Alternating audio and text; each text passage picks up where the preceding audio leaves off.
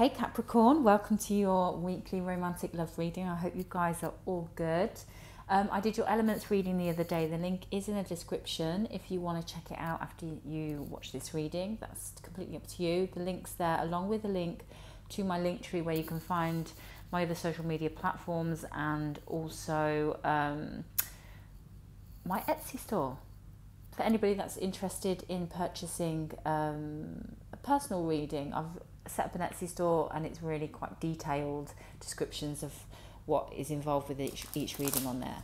But let's get straight into your reading now. This is a general reading, so only take what messages resonate, leave what don't. Um, and I, I felt to date the reading this week. So, um, yeah, it's dated, but I mean, if you find this afterwards, just take it for the week ahead of when you find the reading. Okay, Capricorn, what is going on with you and your romantic love life this week? What is going on with you with your romantic love connections? What energy are you going to be experiencing in regards to your romantic love life and romantic love connections? And what is going to be coming in?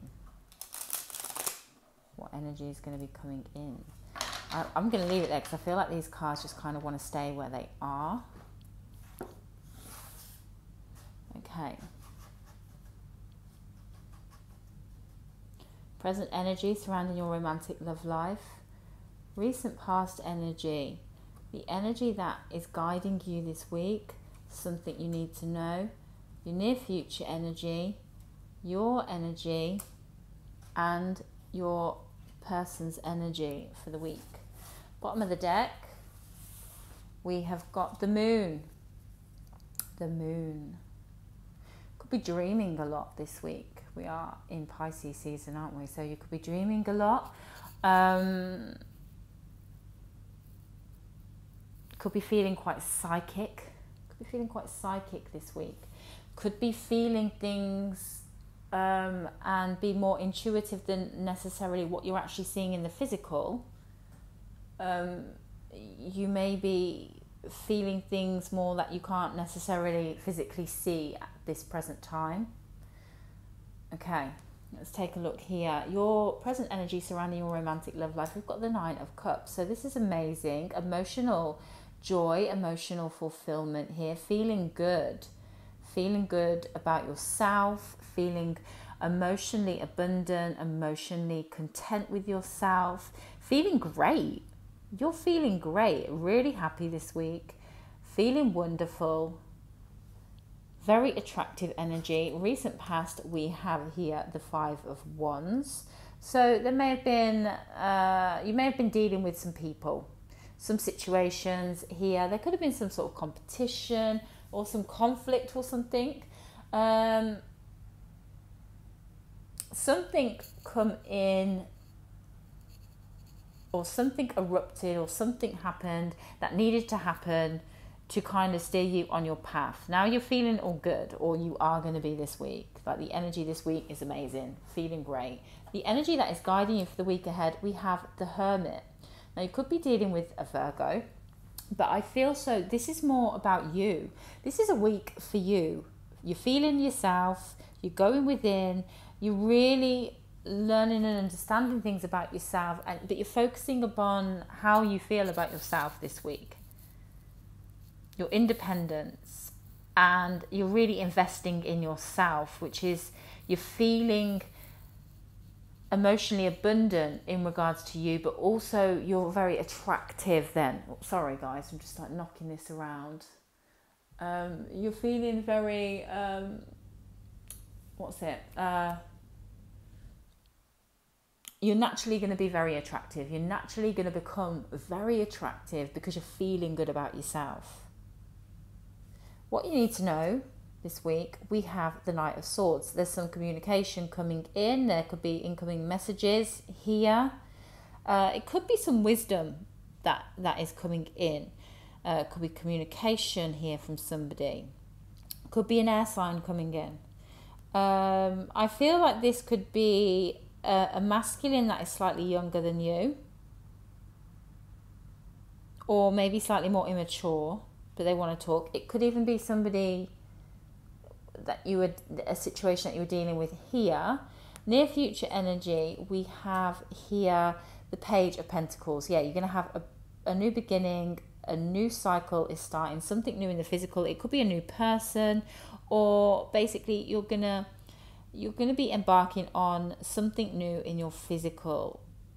You could already be connected with somebody and have you know a new cycle coming in.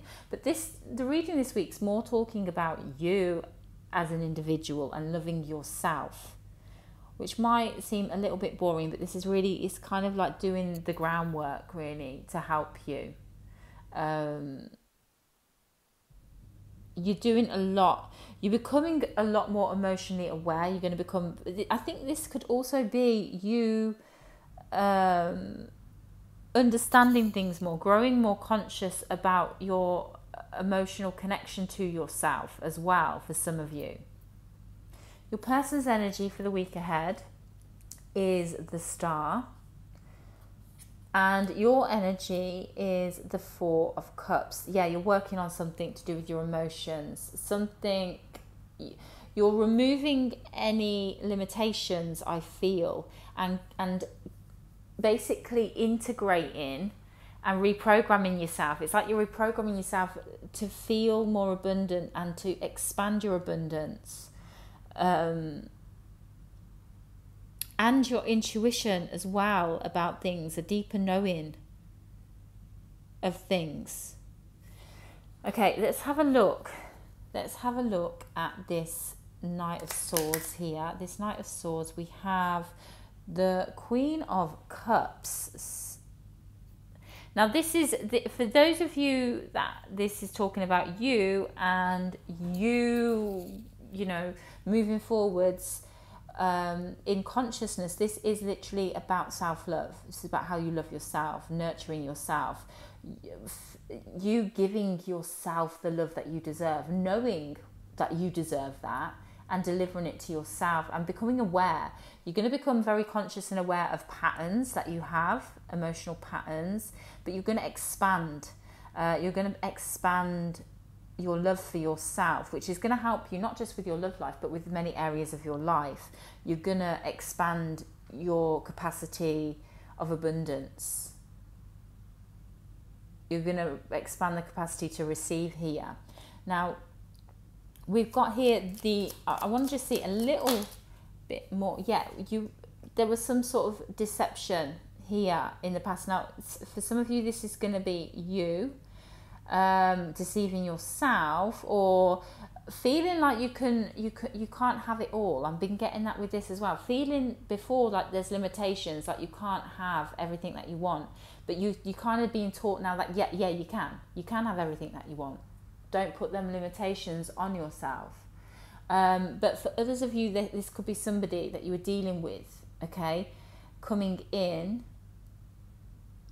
who is very attracted to you, who has been deceptive, or they may be a little bit immature.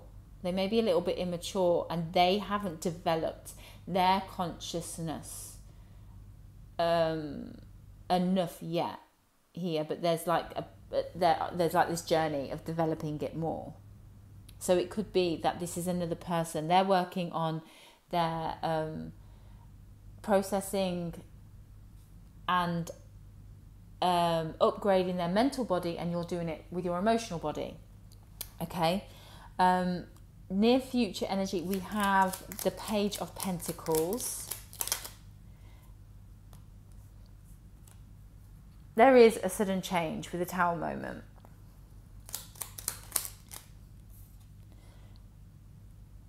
We've got the Six of Wands here. This is a good change. Someone's coming in. I'm sorry. For some of you, yes, this is going to be you understanding things and processing things, but you've got somebody coming in. But they're a bit more immature than you mentally. They are going through a process of, um, it could be a water sign, but I feel more so they they feel a lot of love.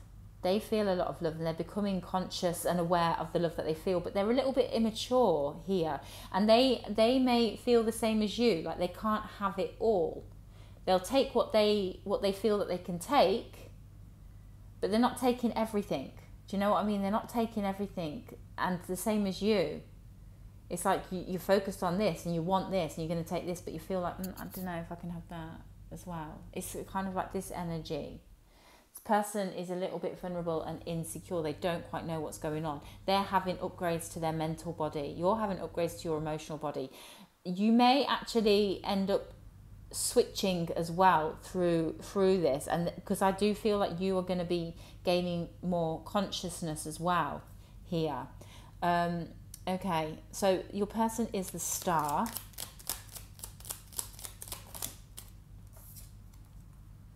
we have the three of cups your person wants to connect and reunite or come in or have some sort of joy happiness and celebration they're taking action they're coming in with this Knight of Wands. You are the Four of Cups this week. We have the Three of Wands. You're waiting. You're going to see something. Yeah, definitely. You're going to see something here. You're waiting, though. You're not making any moves.